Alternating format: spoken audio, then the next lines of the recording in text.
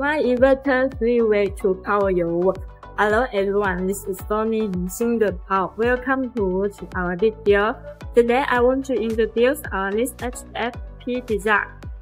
It has a three one mode. One is grid command mode. Power, net power and PV power drive the load at the same time.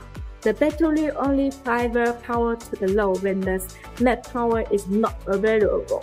PV power is used to charge the battery first, and the excess energy will be used to power the load. And finally, this the grid. That means can sell the electricity.